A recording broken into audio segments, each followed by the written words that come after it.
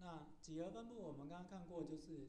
一系列的伯努利试验，一直做到成功才要停啊。那到底要做几次呢？啊，如果我们看成功和失败这两件事情的话，我第 k 次才是第一次成功的话，那代表前 k 减一次都是失败，所以它的几率分模型是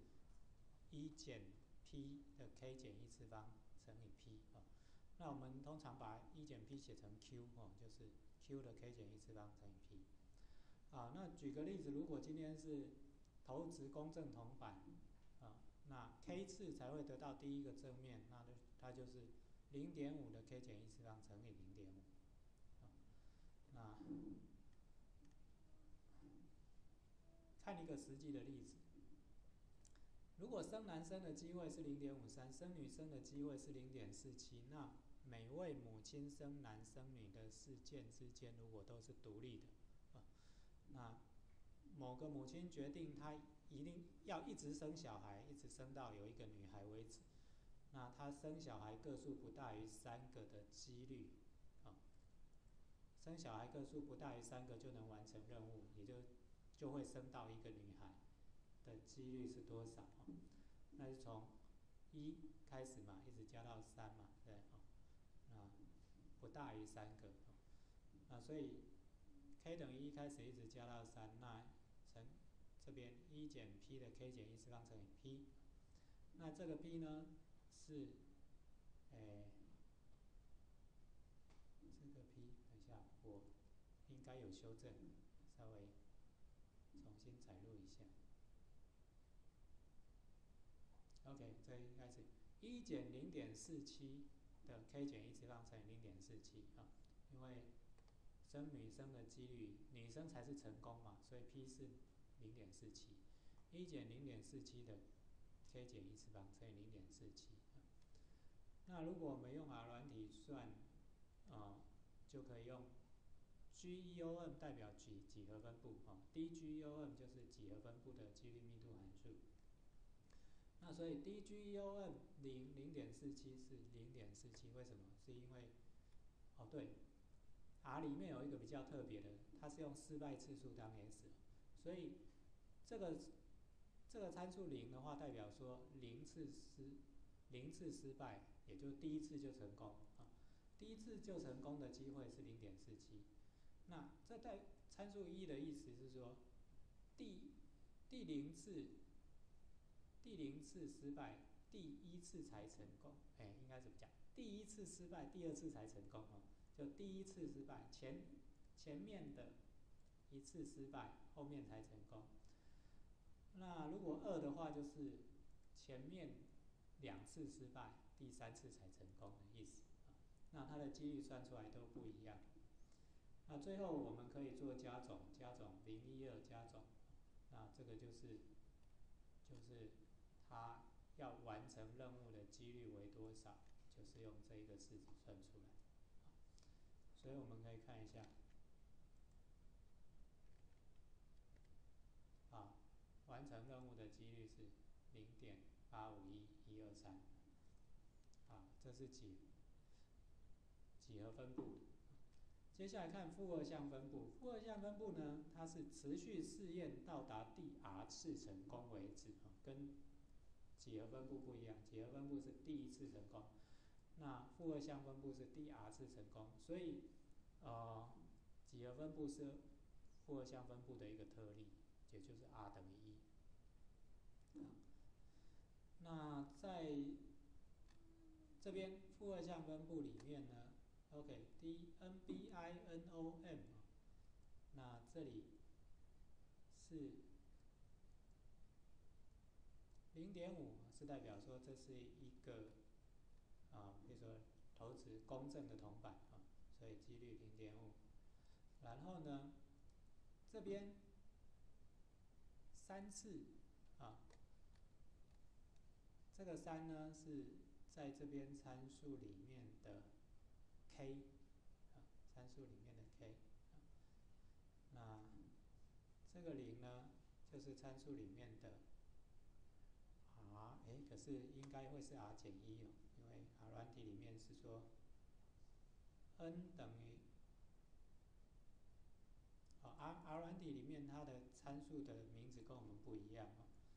它是 n 事实上是我们的 r 啊，然后 s 是 k 减 r 减一的代换方式，所以不太一样，所以它的公式是 s 加 n 减一取 s 啊，这才是。面的公式。好，那这边它有，来先试一下。好，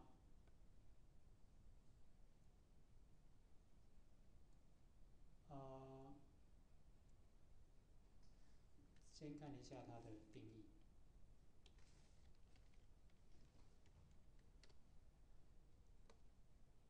啊，你可以看到 d n b i n o n 啊，它的 s 第二个参数是大小，第三个参数是几率啊。那 size 的意思呢，就是 r 次成功吧。所以第二个参数是 r。那第一个参数是 k 减 r 减一啊，k 减 r 减一是在我们这个公式里面的 k 减 r 减一啊。所以它两个跟我们的定义不太一样。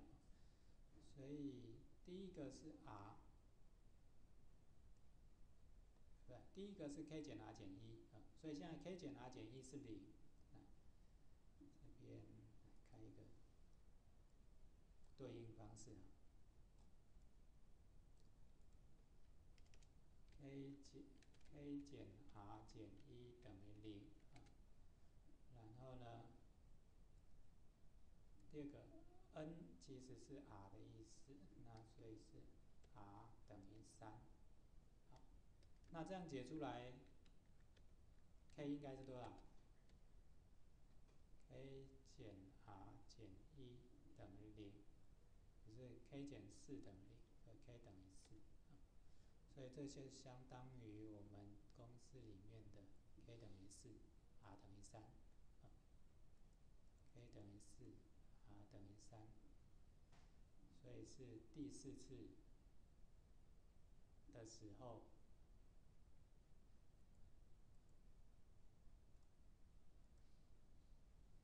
第四次的时候，哎，等一下，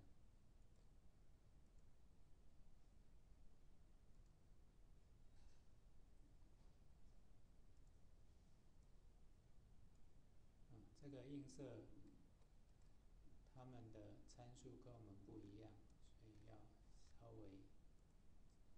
重新映射一下。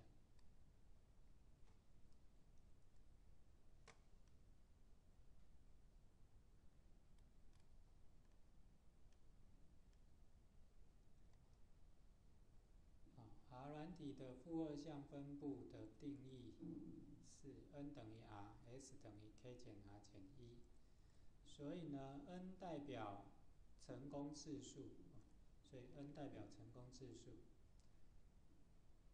然后 s 代表失败次数，所以它成功次数和失败次数是分开记的。那我们原本的是代表总次数，所以这是为什么不一样？因为它的是代表成功次数，所以 n 是成功次数，s 代表失败次数，这个就是零次失败，然后 n 呢是三次成功啊，零次失败，三次成功，哦对，那没错，那是零点一二五啊，连续三次都成功，嗯，所以是零点一二五，OK，就零点五的三次方。那一次失败，三次成功，一次失败，三次成功，应该是多少？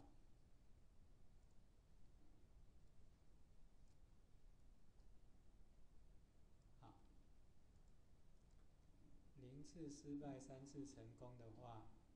就是零点五的三次方，零点一二五。一次失败，三次成功。看一下公式，是 c_k 减一取 r 减一，但是我们这边的 k 和 r 有重新对应。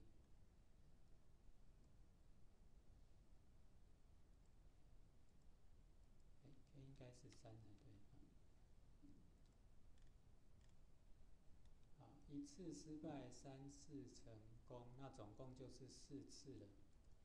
一次失败，三次成功，总共就是四次。那所以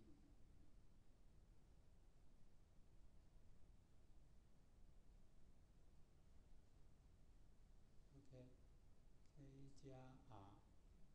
一加三减一，三次里面取 r 是一次。这个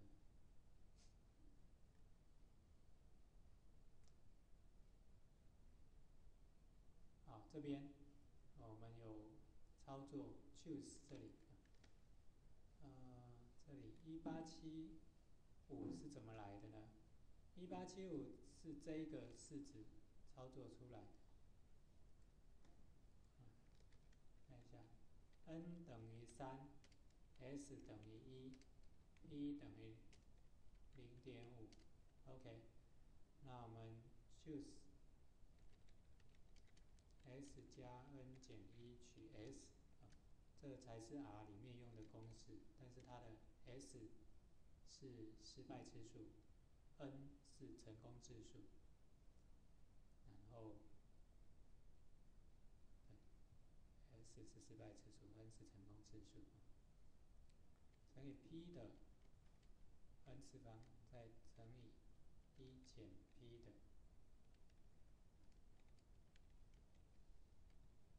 s 次方，零点一八七五，这就是这个第二个式子算出来的结果。好，OK，那这是。以刚刚的那个生男生女的范例，啊，如果生男生的几率是零点五三，生女生是零点四七，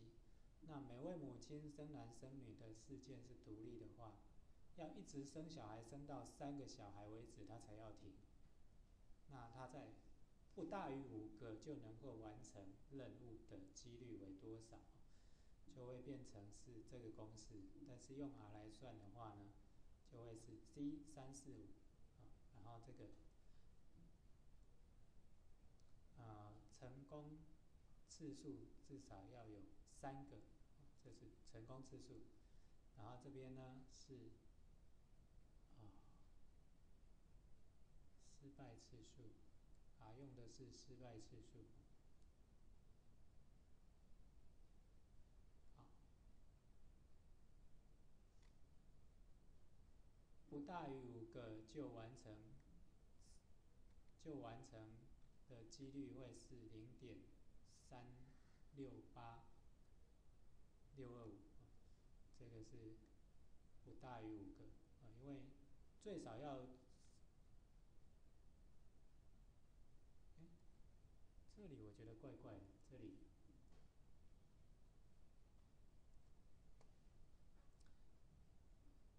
我我稍微操作一下。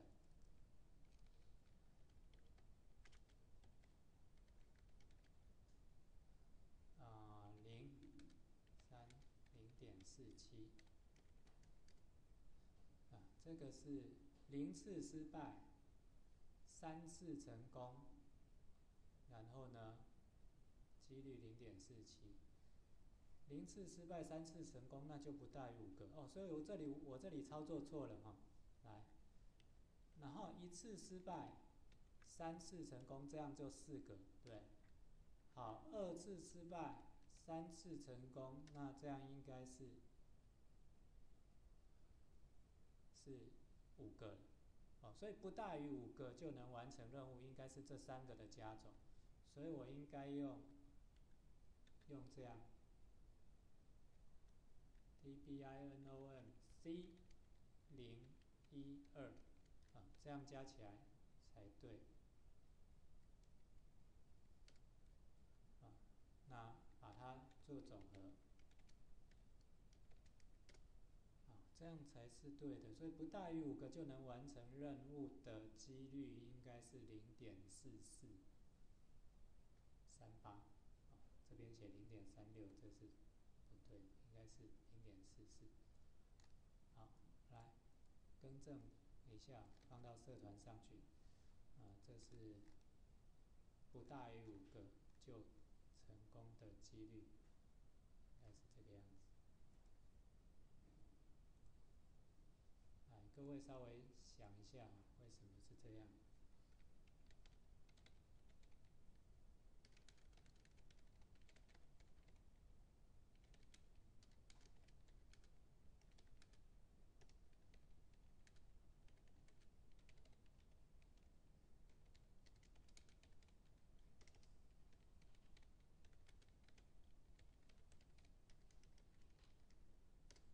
好，我把它放上去哦，各位稍微看一下，它的参数，第一个是失败次数，第二个是成功次数，啊，最后一个是成功几率。那这样不大于五个就成功生三个男孩的几率应该是零点四四三八八四九，所以这个需要再更正一下。